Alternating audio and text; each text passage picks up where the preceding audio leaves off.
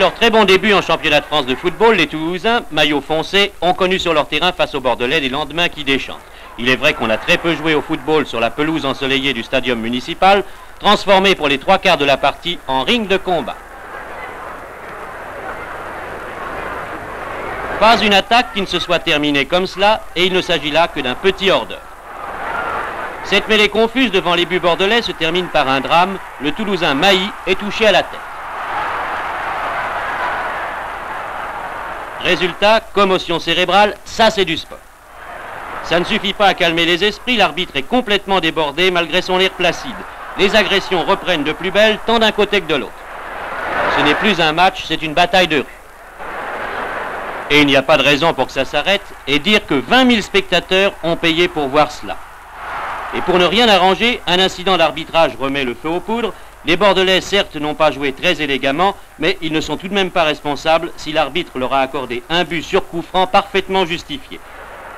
Ils étaient là tout de même pour essayer de gagner leur match, et malgré la colère des Toulousains, le résultat est sans appel, 1 à 0 pour Bordeaux, mais de toute façon, 0 de conduite pour les deux équipes.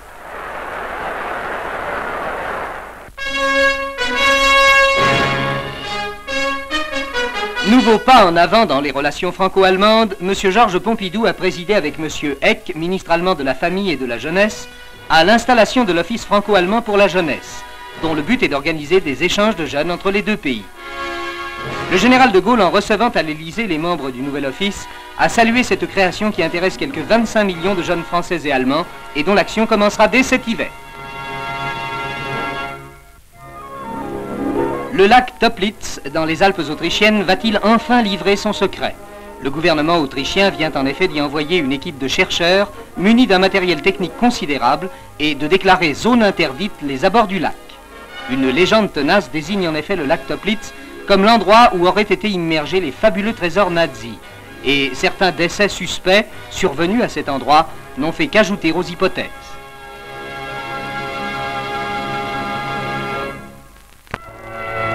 Le célèbre spectacle d'Holiday on Ice avec ses danseuses évoluant sur la patinoire s'est terminé cette fois en tragédie. Au Colisée d'Indianapolis aux États-Unis, où le spectacle s'achevait un quart d'heure plus tard qu'à l'ordinaire, un quart d'heure fatal, une énorme explosion venue du sous-sol ébranla l'immense vaisseau pendant que les loges et les balcons, littéralement soufflés, étaient projetés avec leurs occupants jusqu'au sein. Des blocs de ciment arrachés par l'explosion retombaient dans la foule pendant qu'une flamme gigantesque jaillissait du sous-sol. Pendant que les danseuses quittaient les coulisses dans leurs costumes de scène, un spectacle tragique s'étalait dans l'arène.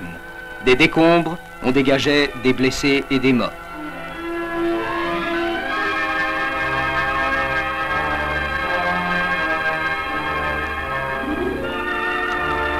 Des 6000 spectateurs qui applaudissaient tout à l'heure, 385 portaient des blessures plus ou moins graves, et le bilan funèbre était lourd.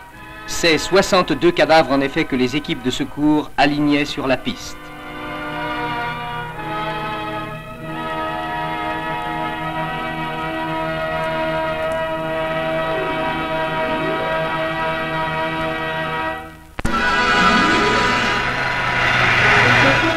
La conférence de Bamako a réussi, du moins a-t-elle abouti à une signature. Le roi Hassan II et le président Ben Bella accueillis tour à tour par le président du Mali, Modibo Keïta, et le Négus, devaient parvenir, grâce à l'intervention de ces derniers, à un accord de cessez-le-feu.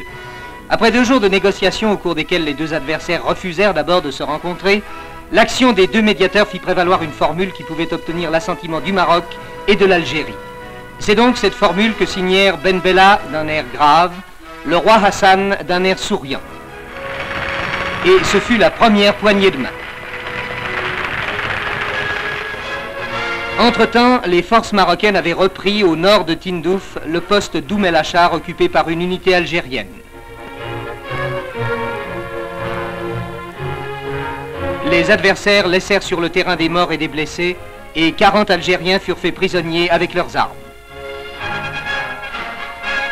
D'autres actions du même genre devaient se produire bien après l'heure fixée pour le cessez-le-feu et le nom de Figuig, situé en terre marocaine, emporté par les Algériens puis reprise par les Marocains, a fait peser pendant trois jours une nouvelle interrogation sur la fin des combats.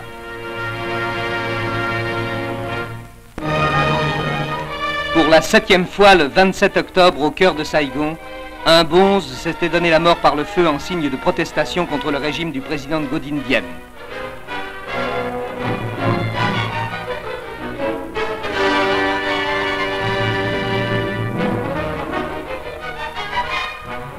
Cette image effroyable devenait la préface du coup d'État qui devait emporter le régime.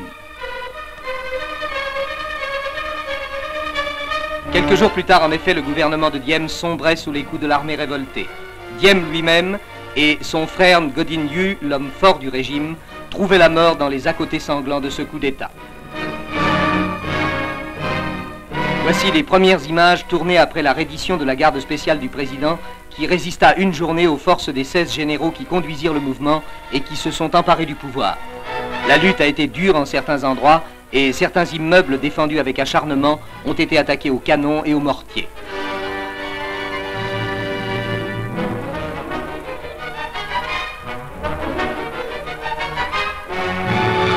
Devant le palais présidentiel, longuement défendu et saccagé après les combats, une foule considérable a manifesté son contentement devant les gardes prisonniers et les vainqueurs satisfaits.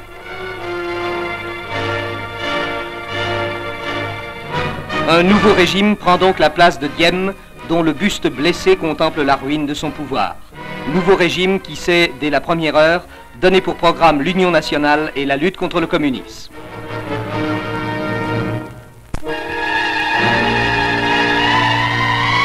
Le Chakra Raju, ce pic de plus de 6000 mètres dans la cordillère des Andes restait inviolé. Ses pentes abruptes, presque verticales, la glace et la neige qui le recouvrent par endroits en toute saison semblaient s'opposer à toute escalade. C'est pourtant son ascension, tentée et réussie par une équipe que conduisaient Claude Maillard, Lionel Terret et Guido Magnone, que nous restituent les images de Jean-Jacques Lanquepin qui faisait partie de l'expédition. La dernière étape fut la plus dure. C'est celle dont vous suivez les difficiles progrès. L'âpreté du décor, la difficulté de l'entreprise, le danger toujours présent et le courage des hommes se passent de parole.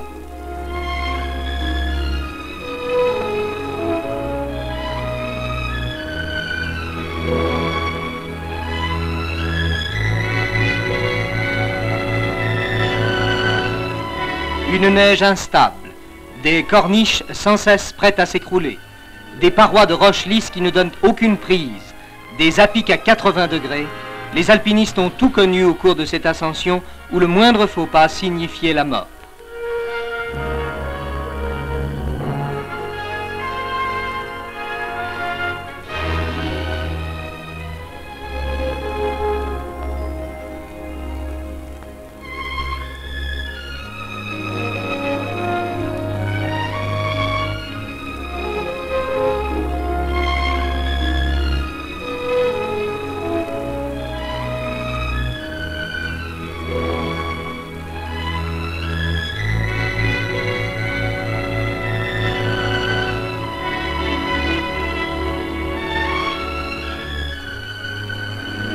Et pourtant, dans un dernier assaut qui dura trois jours, l'étonnante prouesse sportive est réalisée.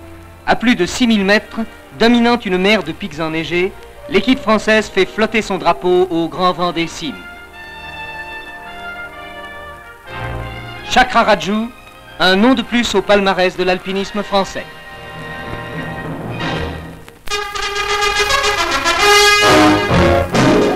Le match de la confirmation au Parc des Princes à Paris devant les Suisses commence bien, très bien même pour les footballeurs français. Les deux équipes jouent en maillot foncé, mais on reconnaît les Français à leur basson. Donc début de match extrêmement favorable à la France. Durant 45 minutes, les Suisses sont à l'épreuve et l'on s'attend au pire lorsque le petit ailier gauche Buron marque le premier but.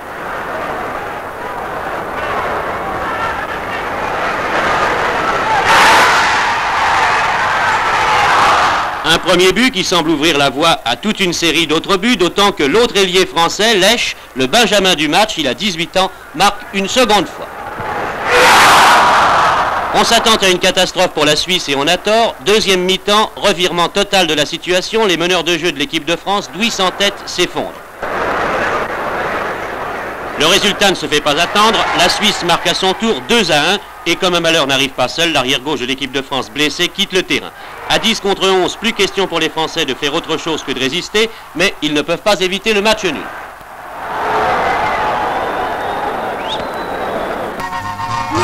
C'est un curieux sport qu'impose aux braves poules américaines les impératifs de la productivité. Car c'est bien de production d'œufs à la chaîne qu'il s'agit dans ce poulailler modèle de Californie, élevé à la dignité d'usine. Comme dans n'importe quelle usine, l'automation est reine.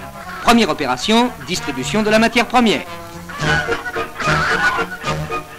De perte, les surplus sont récupérés. Deuxième opération, récupération par tapis roulant toujours des produits finis. La production des œufs en Amérique a vraiment atteint son plus haut degré de rendement. On comprend devant une telle productivité la guerre du poulet.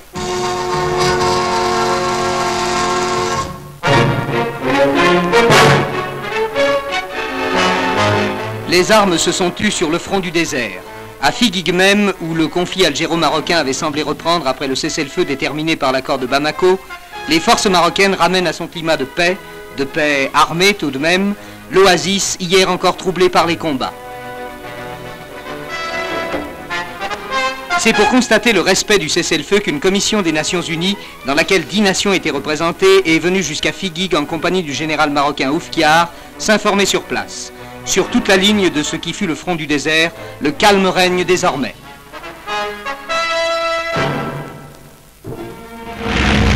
Voici les images tournées dans le feu de l'action lors du coup d'État de Saïgon et qui montrent dans leur éloquente brutalité les phases de cette insurrection. Les forces insurgées convergeant vers le palais présidentiel au milieu des coups de feu et des incendies, c'est l'atmosphère de révolution et de guerre de rue de cette fin du régime Diem.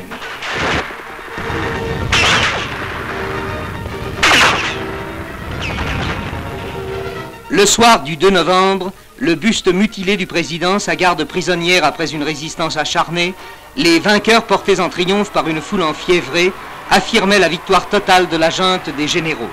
Cette victoire n'allait pas sans le cortège habituel de débordements populaires, désordre, pillage et incendie.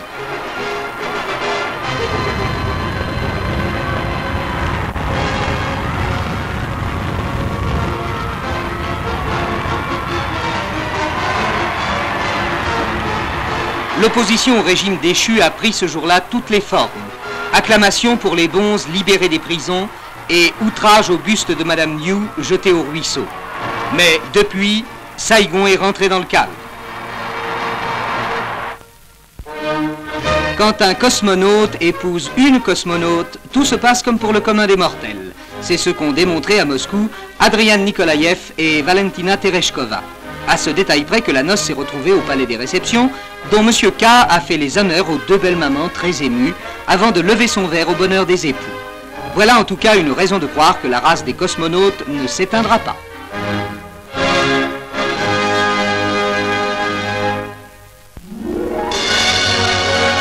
Mieux informé, mieux défendu contre la tuberculose, tel est le thème qu'évoque le nouveau timbre qui vient d'être remis au ministre de la Santé publique à l'occasion de l'ouverture de la 33e campagne nationale contre le terrible fléau. Un fléau qui, aujourd'hui, 100 ans après la naissance de Calmette, inventeur avec Guérin du BCG, tue encore six fois plus en France qu'au Danemark, où le vaccin est appliqué systématiquement depuis longtemps. Ce sera le mérite de la nouvelle campagne de rappeler à tous qu'il existe un vaccin efficace et simple et qu'il est criminel de le négliger par passivité ou par ignorance.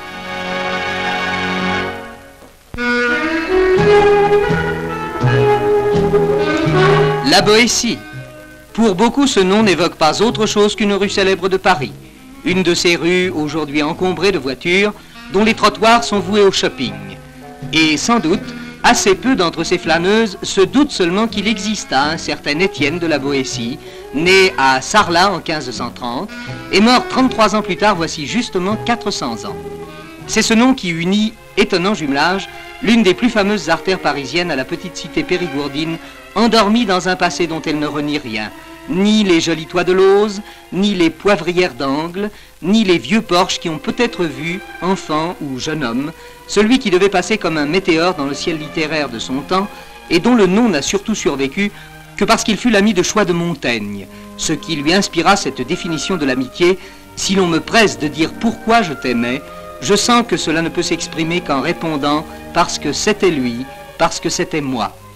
C'est dans cette ville silencieuse où tout, choses et gens est presque resté tel qu'il le connut, de la lanterne des morts au marché aux oies, qu'il est sans doute plus facile de retrouver cet homme qui promettait tant et qui mourut si jeune, sans remplir les promesses de son unique ouvrage, le discours sur la servitude volontaire.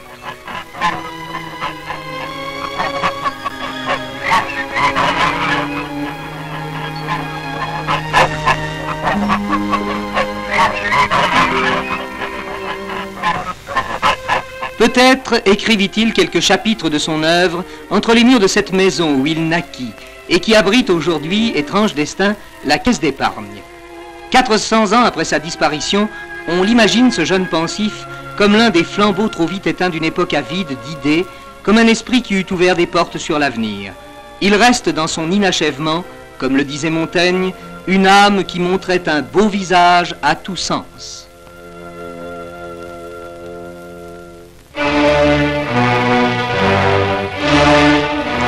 Ce latin du miracle. 24 heures après le sauvetage de trois mineurs dans la mine de Pine, la tour de forage s'est remise en action dans la nuit 4 km plus loin. Un forage d'exploration avait permis de repérer 11 mineurs encore prisonniers à 56 mètres. De nouveau, l'espoir régnait sur la mine. Un deuxième forage plus important fut réalisé. Il devait permettre de descendre des vivres et du matériel de première urgence.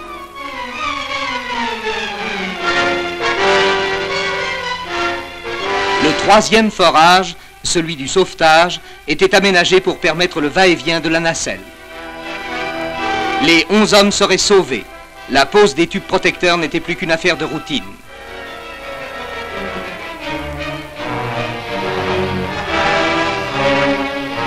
Et c'est sous le regard d'une foule muette d'émotion qu'apparaissait enfin, sorti de la nacelle d'acier, le premier escapé, Heinz Kuhl, père de dix enfants. Minute bouleversante où chacun semblait aider du regard la silhouette titubante, au visage creusé, d'un homme qui avait passé 14 jours emmuré vivant. Puis, de 5 en 5 minutes, c'était un nouveau mineur que la nacelle rendait à la lumière crue. Un nouveau rescapé qu'une famille des larmes de joie plein les yeux attendait. Mais les familles devaient encore attendre. Chacun de ces hommes durement éprouvés par 369 heures de claustration ne pourrait que lentement revenir à la vie normale dans une chambre d'hôpital. En une heure, c'était fini. Et la joie n'a pu s'empêcher d'éclater à Payne, où les drapeaux sont restés en berne, car il y a tout de même 29 morts.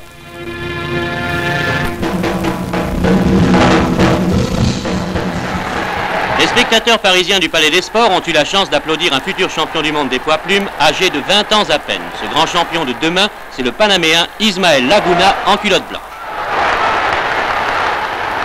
Son adversaire, le Nigérien Rafio King, qui n'est pourtant pas le premier boxeur venu, a été contraint de s'incliner au point après un combat âpre et sévère. Laguna, qui est encore un boxeur à l'état pur, autrement dit un boxeur qui ignore tout des ficelles du métier, utilise toute la gamme des coups les plus simples, mais avec quelle vitesse et quelle efficacité. Rafio King, malgré son ardeur, ne peut que s'incliner devant un tel adversaire, et personne en définitive ne conteste la victoire du jeune Panaméen Laguna. Avec lui, la nouvelle vague s'apprête à prendre la relève, il était temps. Les bisons qui furent pendant des siècles les rois de la prairie canadienne ont été vers la fin du siècle dernier sur le point de disparaître. Heureusement, le gouvernement canadien a pris des mesures de protection sévères qui ont permis de reconstituer un troupeau de 14 000 bisons qui vivent en liberté dans leur habitat naturel.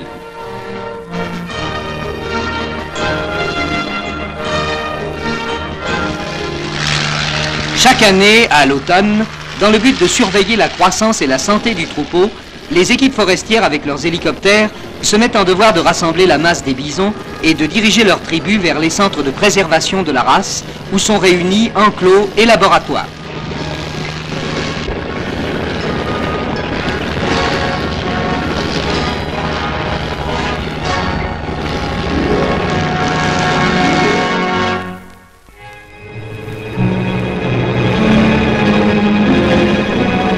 Les recherches commencées voici bientôt un mois pour retrouver au fond du lac Toplitz le mystérieux trésor que les nazis y coulèrent à l'heure de la défaite, ont produit un premier résultat.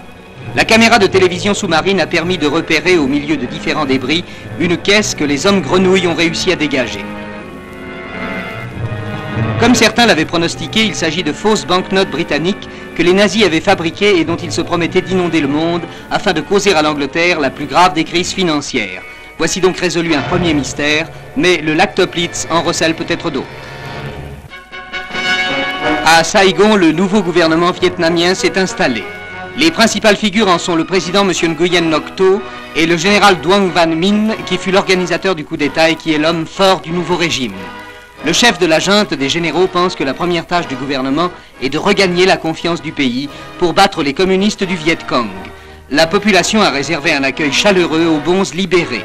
Ces mesures, jointes à la volonté de ne pas se livrer à des représailles, devraient contribuer à une rapide stabilisation politique. À la fois plaignante et accusée, la délégation algérienne conduite par M. Bouteflika s'est rencontrée à Addis Abeba avec la délégation marocaine devant l'Assemblée des États africains, réunie sous la présidence du Négus Haïlé Sélassié et de M. Doudou Thiam, ministre des Affaires étrangères du Sénégal. Les 32 États de l'Organisation de l'Union africaine ont à donner suite aux accords de Bamako et doivent, selon les paroles du Négus, mettre tout en œuvre pour assurer une solution pacifique au conflit algéro-marocain. À Paris, c'est la saison des prix littéraires qui s'est ouverte chez Drouan, où, fidèles à une tradition solide, les académiciens Goncourt s'étaient réunis pour déjeuner et pour voter. Et comme à l'habitude, Philippe Herriat a risqué l'étouffement pour annoncer le résultat. Le prix Goncourt 1963 a été attribué au sixième tour à Armand Lanoux pour son roman Quand la mer se retire par Saint-Voix. Jean-Marie Gustave Leclésio, lauréat du prix Renaudot, a partagé avec lui cette journée de gloire.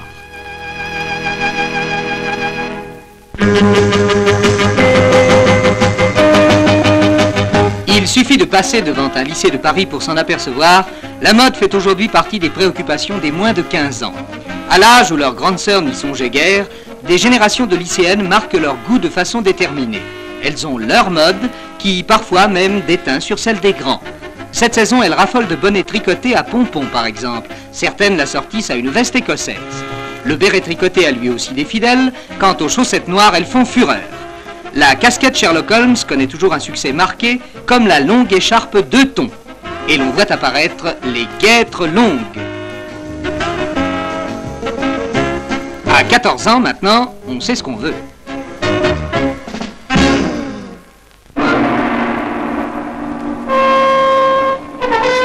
Ce qui est arrivé à Saint-Hernin est déjà arrivé ailleurs en Bretagne.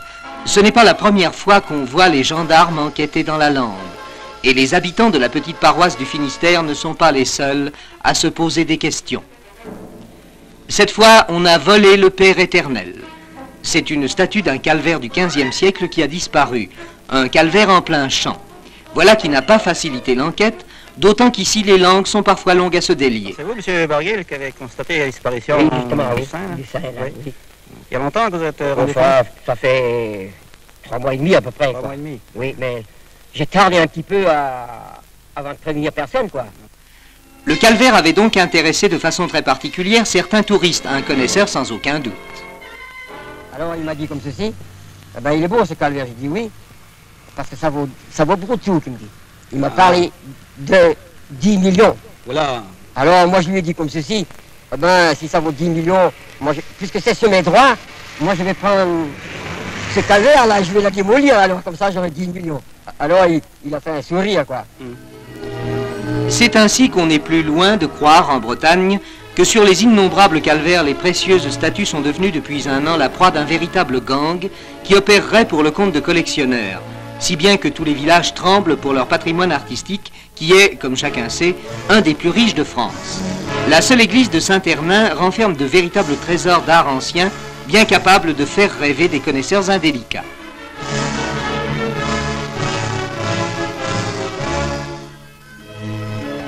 Va-t-on mettre tout cela sous clé? Euh, Toutes ces œuvres d'art ne sont pas enfermées, comme dit la presse, dans des coffres forts. Non, il ne faudrait pas d'ailleurs. Ces œuvres d'art doivent être visibles de tout le monde. C'est c'est un trésor, pour, bien sûr, pour la paroisse, mais les paroissiens sont fiers quand les, les touristes passent et viennent voir ces œuvres dans l'église. C'est bien là le drame aujourd'hui des villages bretons. Chaque nuit, au bout de chemins déserts, des calvaires sont là. Des statues sans âge, des pièces uniques, sont à l'intérieur d'églises dont les portes battent à tout vent, et n'ont pour seule protection que le respect de chacun. Il les a défendus pendant des siècles, mais aujourd'hui apparemment, il n'y suffit plus.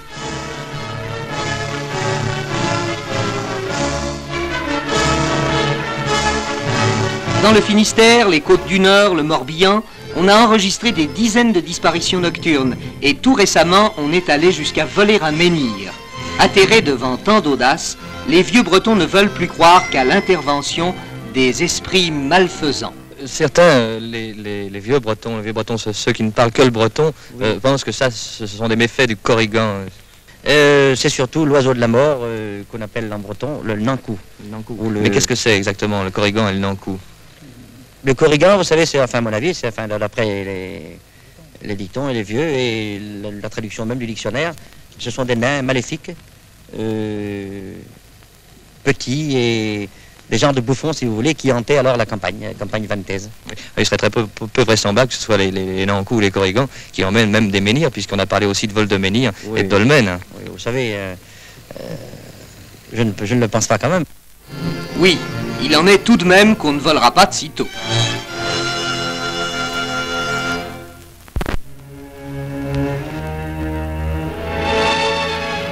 Qui aurait pu imaginer le jour de 1953 où John Fitzgerald Kennedy épousait Jacqueline Lee Bouvier que dix ans plus tard, cette radieuse image de bonheur s'effacerait sous une tache de sang, que John Kennedy tomberait sous les balles d'un assassin? Candidat du Parti démocrate porté à la présidence des États-Unis avec Lyndon Johnson pour vice-président, il succédait à la Maison-Blanche à Eisenhower à l'âge de 43 ans.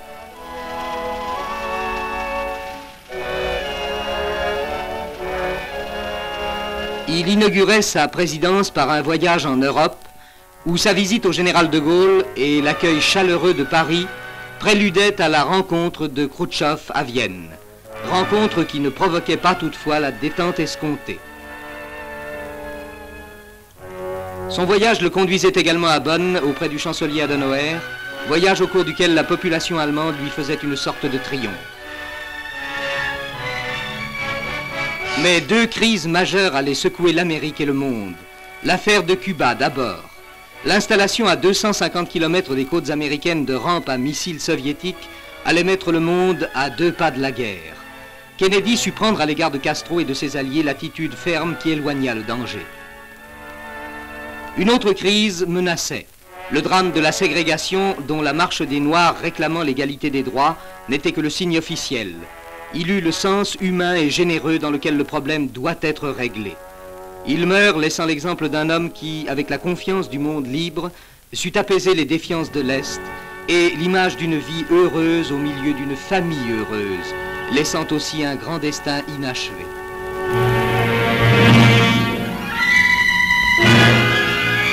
Voici le film de l'attentat qui a coûté la vie au président Kennedy. Avec sa femme Jacqueline, il était arrivé à Dallas au cours d'une tournée politique dans le sud des États-Unis et descendait dans une voiture découverte la grande rue de la ville pour gagner le bâtiment où il devait prononcer un discours devant le conseil local des citoyens. Soudain, des coups de feu, c'était l'attentat.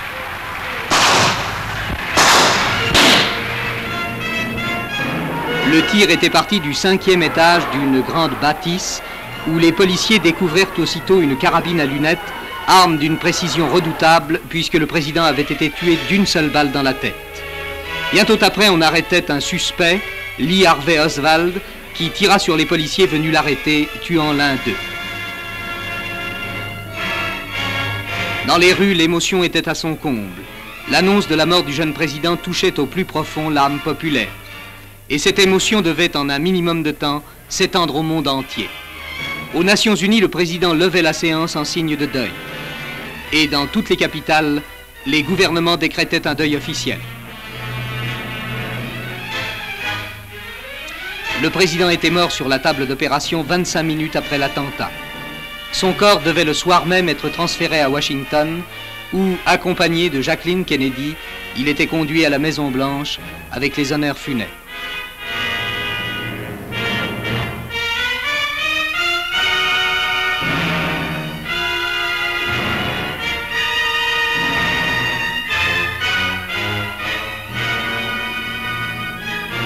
De partout parvenaient les témoignages d'un deuil universel. Et le général de Gaulle décidait de se rendre à Washington pour y assister aux funérailles du président assassiné. Il s'y retrouverait avec les chefs d'État et les chefs de gouvernement de quelques 50 nations.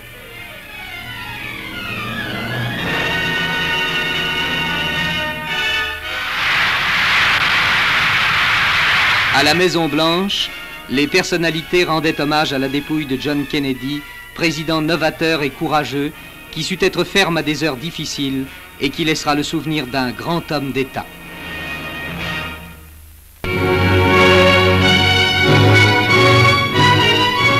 À Paris, Elisabeth Bayon, une jeune artiste en tapisserie, a vu sa vocation encouragée par un chèque de 10 000 francs. Avec elle, devant un aréopage de célébrités, 23 jeunes qui ont manifesté leur volonté de suivre la voie qui les appelait ont reçu ce même encouragement. En offrant une nouvelle fois à des jeunes gens et des jeunes filles le moyen de réaliser une ambition que peut-être ils n'auraient pu réaliser faute d'argent, la Fondation de la Vocation, créée et animée par M. Bleustein-Blanchet, continue d'assumer sa belle tâche.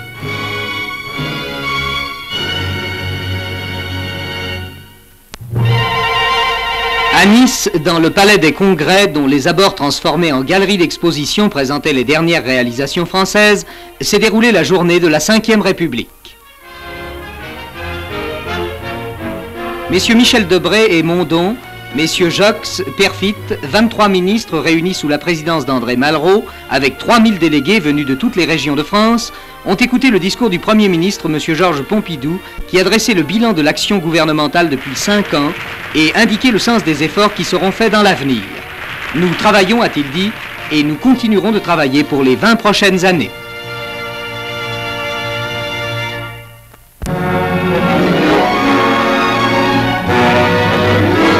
Chancelier depuis un mois, qui est Ludwig Erhard un homme qui aime toujours lire des livres d'économie dans l'intimité de son bureau, où des photographies évoquent le canonnier de 1914 et le fils du mercier qu'il fut à Nuremberg. Un homme aussi qui, dans cette maison du lac de Togern, aime à jouer les grands-pères des bonnets.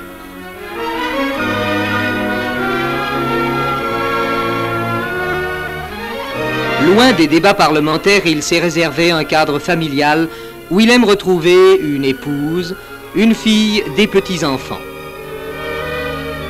L'homme public, on avait commencé à le mieux connaître en septembre 1949, quand le gouvernement Adenauer, dans lequel il était ministre de l'économie, prenait officiellement en charge le destin de l'Allemagne de l'Ouest. Mais Ludwig Erhard avait déjà influé sur le destin d'un pays ruiné par la guerre, où tout manquait, les moyens de communication comme la nourriture, et sur lequel le régime des restrictions pesait quotidiennement de tout son poids.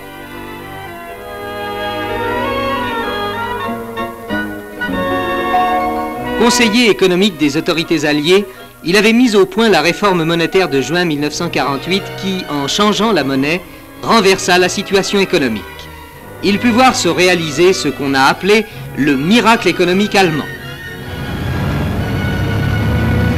En moins de dix ans, ce fut le retour de l'abondance et la prospérité de l'Allemagne étalée aux yeux du monde. Depuis, il a gardé le goût assez singulier des visites dans les marchés. Lors de sa nomination au poste de chancelier, la jeunesse allemande est venue le saluer comme le symbole rassurant de cette prospérité que les Allemands lui doivent. Tel est l'homme qui a succédé à celui qu'on appela aussi le chancelier de fer et qui vient d'être reçu à Paris. Au palais de l'Élysée, le chancelier Erhard devait rencontrer pour la première fois en tant que chef de gouvernement le général de Gaulle. Rencontre qui a permis aux deux hommes d'État d'évoquer les problèmes auxquels sont confrontés la France et l'Allemagne et sur lesquels ont porté à l'hôtel Matignon les conversations avec le Premier ministre M. Georges Pompidou. OTAN, Europe, marché commun.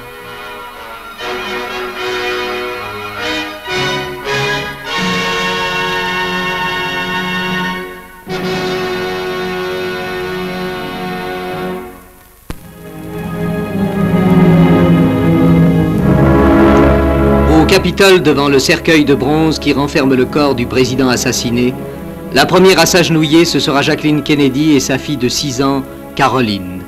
Et les mots manquent devant cette scène d'une émotion poignante.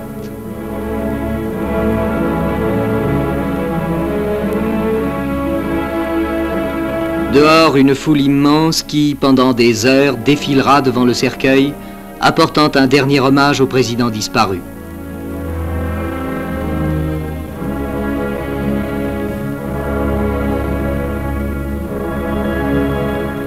Mais presque à la même heure, à Dallas, un nouveau drame, imprévisible lui aussi, s'est déroulé.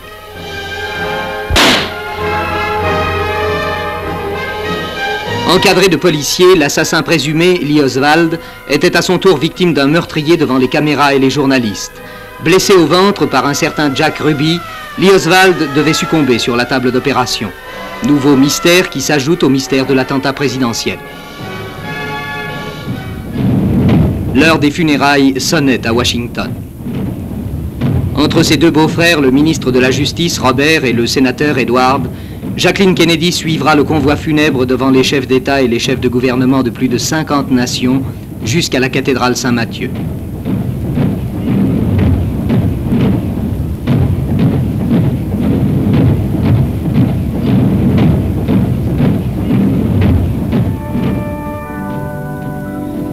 Accompagnée de sa fille Caroline et du petit John Fitzgerald, dont le troisième anniversaire tombe justement ce jour-là, au son de ce même Ave Maria qui accompagna la cérémonie de son mariage, Jacqueline Kennedy va prendre sa place devant le président Lyndon Johnson et les délégations où l'on reconnaît la reine de Grèce, le roi des Belges, le général de Gaulle. Le président Lübke et le chancelier Erhardt y représentent l'Allemagne.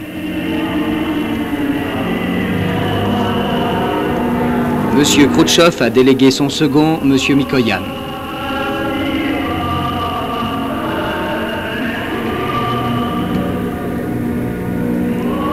À cette même heure, dans le monde entier, tous les hommes de bonne volonté auront eu une pensée pour cet homme épris de justice et d'humanité qui porta à certaines minutes le destin du monde. Avec ses deux enfants, Jacqueline Kennedy va maintenant assister au départ du cortège vers le cimetière d'Arlington.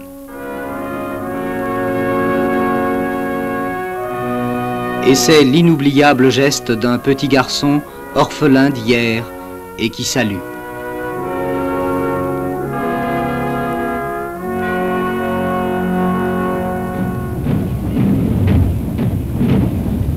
Au milieu des 126 000 tombes où dorment les grands morts des guerres d'hier, John Fitzgerald Kennedy reposera, mort aussi dans l'accomplissement de son devoir, mort au combat, victime peut-être de l'action qu'il menait et du sens qu'il donnait à sa mission. Mort comme un soldat sous le feu, comme l'a dit le général de Gaulle, pour son devoir et au service de son pays, laissant un grand exemple.